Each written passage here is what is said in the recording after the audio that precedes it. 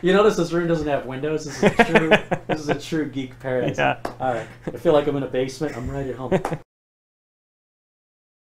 So your first step, if you're going to mail mail us your drive, is to go to the website and do our mail-in form. Just submit the mail-in form, um, and that that just comes to us electronically. And After submitting the mail-in form, you'll see our packing and shipping instructions.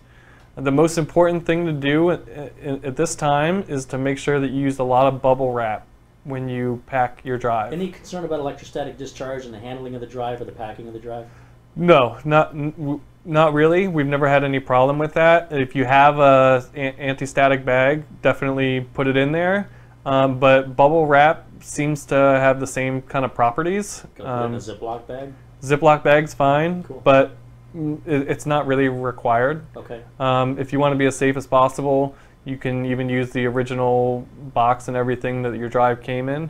So Um, but we just recommend at least two to three inches of bubble wrap on all sides. Never use styrofoam peanuts and always ship in a box. Some Okay. people send us a, a drive in an an envelope. And then And that's it. Damaged even worse. Yes, yes. Wow. I can't believe if it's that important. You you. It's crazy, yeah. It never occurs to the customer they need another drive to put the data on. Right, of course. So do they provide that to you, or do you provide that to them at an additional fee, or is that included, or how does that work? Um, it, they can do either. They can either supply us with their own transfer drive. Um, there's a couple requirements that it has to meet in order for us to be able to use it. Um, for example, it has to be the same size or bigger than the bad hard drive to make sure we have enough room to move the data to. Um, it can't be a NAS drive because moving over the network slows our process down too much. A um, couple things like that. And then they also have the option to buy one from us if they want. Um, if the recovery is successful, they'll buy one from us. They could choose to just buy the smallest one that will fit all their data, or they can have any drive from 500 gigs up to 5 terabytes. Okay, so I've got a bad drive. Yeah, I, I filled in the form. I boxed it up. yeah, You get it. yeah. For some reason, whatever, you can't recover this drive. Okay. Is the drive unrecoverable? In certain cases, drives are unrecoverable by anyone. Um, we estimate it's about 10 to 15% of all drives we get and are unrecoverable by anyone. So if you ever hear a data recovery company say that their success rate is 99%, it's just, it's just uh, the biggest lie that there is. Um, it's never 99. it's impossible because a lot of drives have platter damage. They were dropped, the heads fell on the platters, scratched the platters. And, and, and in a lot of cases, you can't recover from a scratched platter, um, especially if the scratch is in the firmware area of the hard drive. Um, that may contain unique. game over situation. It could be, yeah, it definitely Okay. could be. Let's say I send you the drive. It's not recoverable. What's my costs for you to make that determination? If we couldn't recover any of your data, then there's absolutely no charge. Um, So if you I, if you're a mail-in, shipping back, it's the only charge. When I send you the drive, am I prepaying anything at that point for the service you're going to do? Um, there's no prepayment except for deleted file and format recoveries. So for deleted and format recoveries, we charge up front. And the reason we do this is because we already know we're going to follow our same process of cloning the drive, scanning the drive, recovering all the data, but we can't know for sure if we're going to get back your deleted file. Um, but we feel like we've already done all the work and we've recovered everything possible from the drive. So you're getting back everything that can be recovered, and that's why our rate is, is due up front in those cases. If we recover, say it's not a format or deleted files recovery, it's just a normal drive, it was dropped, it's clicking, or for some reason it doesn't mount. And if we recover 99.9 to 100% of the sectors on the drive, then our, our fee is due. But if we recover less than that, then we give our customers the option you can either pay our full rate for the data we were able to recover, or a $100 labor fee if you don't want the data we could recover. Because a lot of times, it, it- you know, it may be days or weeks of trying to recover as much as we Right? can. You don't even know what you're going to get back. We don't know, and, and say let's say it's 98% of the data, but coincidentally not the one file the customer needs. Murphy's We've still worked for so long, we're getting $100. But that's fair. I think Yeah. that's very fair. I think so, yeah. You keep the customer in the loop the entire way. There's not this mystery like a week goes by. Well, I don't know, but but where there's an extended period of time where I have to call and go, "What's the status of my drive?" Like you guys will say, for example, "We received your drive." You'll get an email. Yep. As soon as it comes in the mail, So what We are the alerts email. that the customer gets? Yeah, so the the drive arrives. We're sending an email uh, going over our terms and conditions, uh, confirming the total costs, and getting our customers' agreement that they want to pay that cost. That wasn't done beforehand, before the drive was shipped in. Well, in some cases it wasn't, but either way, we're we're just making it clear so they know exactly how much it'll cost. Okay. Um, you know, we have a, a rate calculator on our website, so we always encourage customers to use that first. They can determine the cost that it will take to What's- recover. We want no surprises. We have no hidden fees. We So- try to be as transparent as possible. Okay, so that's the first email that goes out. Yeah. What's the next? All right, so uh, they'll they'll respond and say that they approve our terms. Then we'll move the drive into what we call on deck. Um, that's kind of like the diagnostic phase. So well, after we're done diagno- diagnosing on the PC3000, and we've got the drive up and running again so that it's able to be cloned, then we send them uh, email saying that your drive is now in progress, and basically we've we've started and it's looking hopeful. Okay. Um, almost the majority of drives that get in progress are going to be successful in the end.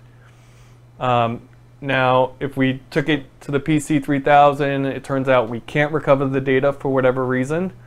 Um, our customer would get an email detailing what we've determined the problem to be.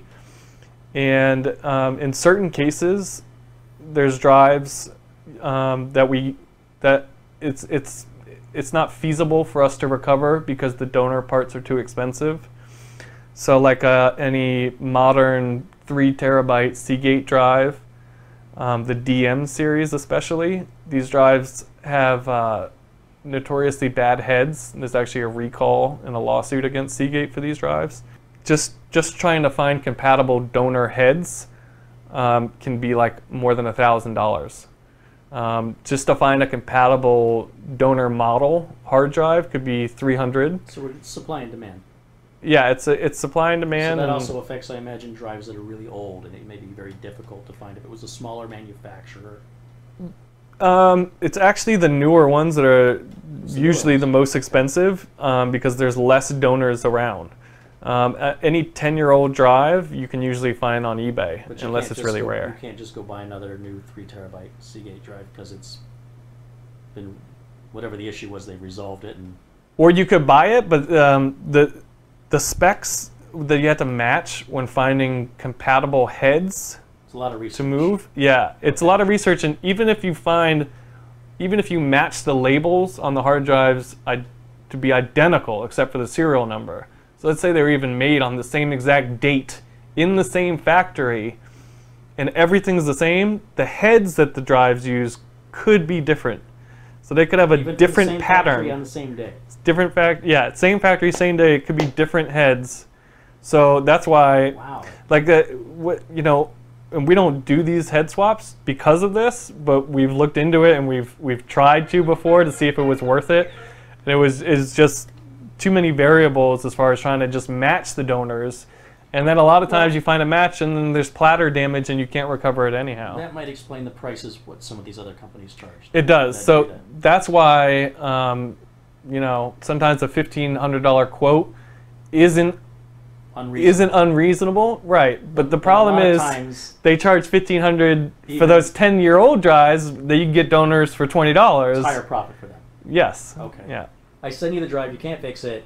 Uh, I have the option then of saying just destroy it, get rid of it for me, or Yeah, you have three options at that point. Uh, if we can't recover it, we can either send it back to you, we can recycle it for you, um, and in certain cases, when we recycle the drive, we may offer between between ten and twenty dollars for the drive. Um, if it has like a rare PCB that we may want to Use keep as as a a donor. donor, yeah. And then the third option is we can offer to send it to another data recovery company that we work with, who does um, the more expensive head swaps that we can't do because of our rate. if they say, look, send the drive back. I'll send it to somewhere else myself. They can do that, Yeah. or they can come to you for advice as far as to, to escalate it to the next level. Yes, to go with a company that we recommend, um, just because there's a lot of shady data recovery companies out there. Is there? Oh yeah, Now let's let's look at the 85% of the case Yeah. where somebody sends you the drive and you can recover it.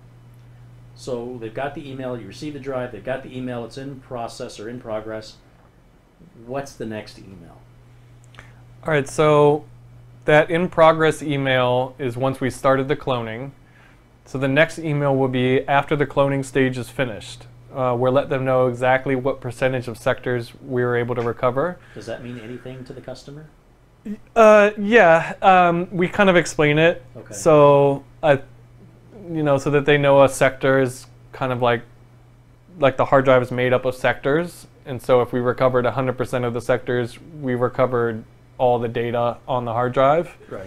Um, it's it's hard sometimes to Does- explain the does difference customer between a sector and a of the file. files? Well, not yet, not yet. Okay. So th- now we're just sending an email saying we were c- we were able to basically image 100% or 99.9% or 75%. Let's say the drive had four heads, but one of the heads was bad.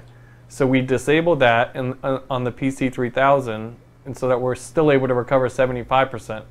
Um, and then we say, you know, do you want 75%? for 300 or do you want to cancel and pay our $100 labor fee? Isn't the data spread equally among the platters? If a head is bad, let's say your drive has four heads and it has one bad head, you rip it's like ripping the fourth page, Every fourth page. every fourth page out of the book. And your sentences are files. So there are sentences that will run over to that ripped out page. Those file those sentences will be bad. But the majority of them, especially if they're small sentences, will be recovered. Small files like pictures, music, um, it's less likely to be um, spanned onto onto multiple platters. And if it's a large file like a like a PST file that's 15 gigs, then it's definitely on multi on on that bad platter, and and that file probably won't work. Now the customer has an email at that point with a list of files that No, no, not not yet. So let's say that we just sent them the best case scenario, which is we have great news. We just recovered 100% of the sectors on your drive. Um, now we're gonna scan our clone using data recovery software and see what files we can recover. Um, in, in almost all cases, if we recover 100% of the sectors, we'll get back 100% of the files.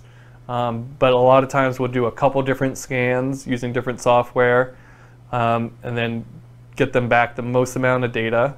Then we'll create a file listing after we move that data to their transfer drive. So they're getting a listing of exactly what's on the drive they're going to get back. So you've already done the work. Yeah, all the work's been done at this point, yes. So, so is the customer then committed to pay at that point?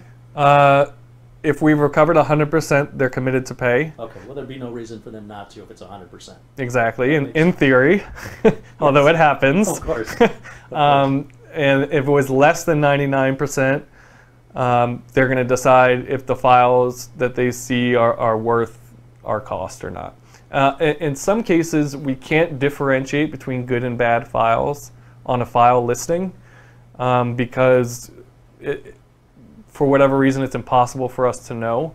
That's more rare. Um, more commonly, what we'll do is we'll be able to separate the bad files or the possibly bad files from the good files and put all those bad files in a separate um, folder so the customer knows these files contain bad sectors. so you might pull up half a picture. Exactly. So, well, like JPEGs, they're very compressed. So if, if a JPEG has just one bad sector, half the image could be gone. Um, if you have a movie, like a, let's say a DVD rip, and it has 20 bad sectors, it could still play flawlessly and you'd never even know. Wow. So it depends on, you know, how compressed the Type of data. file is, what kind of data, yeah, exactly. Same with like a Word document, you, you could you get 75% of the document, theoretically. Maybe. No, I I don't think it works like that on Word documents. At least I've text- never seen it. Text file? Text file for sure, yeah, Okay. because text file, you know, the, what you see on the text file is what's actually on the sectors. Okay. Yeah. All right. After that, Yeah. they've agreed. So they're going to pay.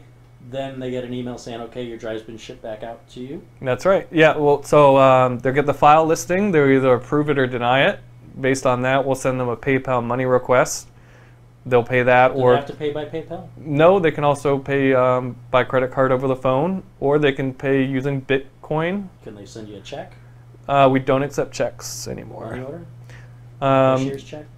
We, we don't like to.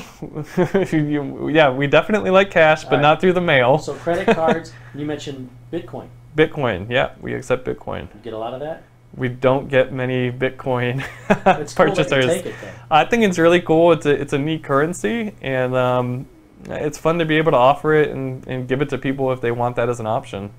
So, uh, so they get the drive. So, so they're going to get an email. The drive went out after they they make their payment. Yeah. Then they, so yeah, when we get to payment, you mentioned 300, 400, 500. right. What? When does somebody pay 300, and when do they pay the other amounts? Okay, right. And, and just remember, all of our customers know the total cost before we start anything. So if, if they ever determine, you know, before we started, like, if they thought it was going to be 300 and it turned out to be 500, then they can decline the recovery. There's no cost or anything. Does that happen? It, it, it's rare, Okay. um, especially now. You know, we always try to get our customers to confirm the cost using our rate calculator online before they do anything. Um, You're saying rate calculator. rate calculator. Not raid calculator. correct. Because Although you can could calculate- the rate of your raid. You could, yes. so all of our prices are predetermined, um, fixed based on the model hard drive you have, Okay. and if your drive has encryption. But just just basically, uh, forgetting all the encryption stuff, not to get too complicated. Yeah. When is it a three hundred dollar repair? When is it a four hundred? When is it a five hundred or six hundred? Uh, So 300 is our base rate. If your drive is two terabytes or smaller, it will probably be 300. Um, if you have a drive that's larger than two terabytes, then we have a $100 fee for that. Does it matter if it's a two and a half inch or a three and a half inch drive? Does not matter. Does it matter if it's a mechanical drive versus a solid state drive? No, Does it matter if it's a flash drive versus a hard drive? no. Does it matter if it's a memory card versus? Um, that's all I got. Uh, a floppy disk? No, it doesn't disk. doesn't matter. Good one. Doesn't matter. Right. Yeah, Could you do floppy disk recovery? we can, uh, but you know, there's not too much you can do. So there's a hundred dollar fee if your drive's over two terabytes. Okay. There's a hundred dollar fee if your drive is encrypted. That means if you installed BitLocker or TrueCrypt um, or SafeBoot, or if you have a Western Digital drive with smartware.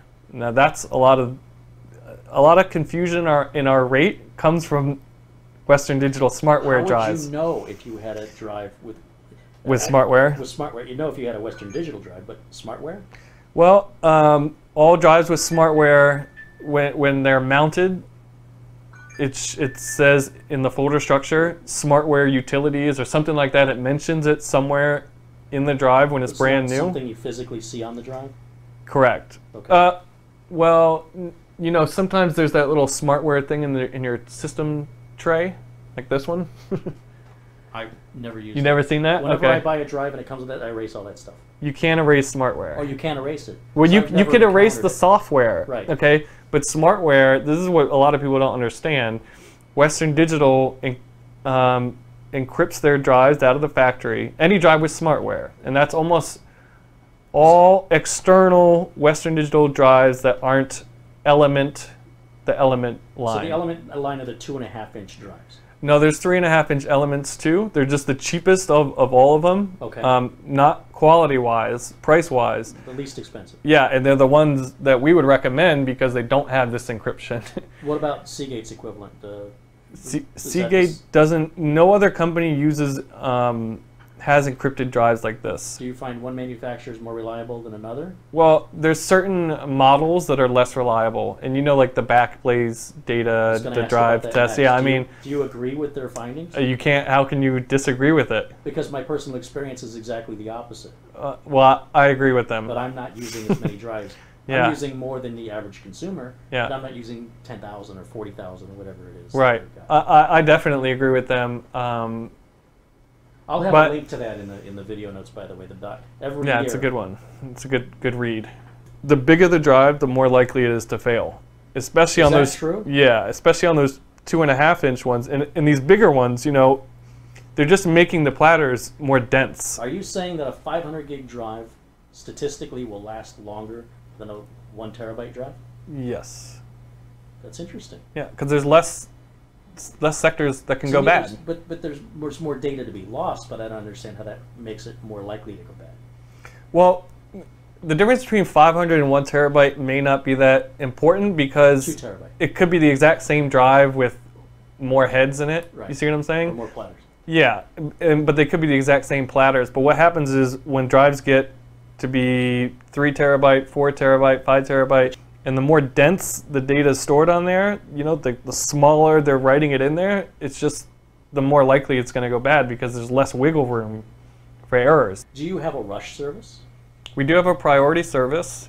Um, usually the turnaround time on that is one to two days, but it, Versus what's the regular term? versus around four to six. Four to Um, six days. Yep, Plus the time for the mail if it's being met. correct. Okay. which is about two to three days because we use USPS priority mail. With the priority service, it's a $50 upfront fee that gets you pushed into the front of the line above every uh, in front of everyone else. So we started immediately. Just like at the club. That's right. It's a VIP service. Um, and then if we're able to successfully recover your data, it's our normal fee plus an extra $150 fee. So if your drive was 300, it's 500 with priority. When I started doing data recovery, which was, you know, seven, eight years ago, uh, and, and my customers only had the option of paying 15 to 2500 for data recovery. And, And, I, and waiting two weeks. yeah, yeah, that's for the slowest Minimum. service. That's for the slowest possible service. Um, I, I was saying to myself, if I can recover their drive, like, what what do I want? What would be like fair for me? And I thought if I could make, would be hey, yeah, I thought, hey, if I can make three hundred dollars a day, I'm set for life, and that's that's why I came to three hundred. I think you're doing a little more than that. a little bit now. I hope so. Of course, if there's any questions people have, they can reach out to you through your website. Yeah, Or and that's phone. yeah, three hundred dollar datarecovery.com. Or you can email me directly, Brian at three hundred dollar datarecovery.com.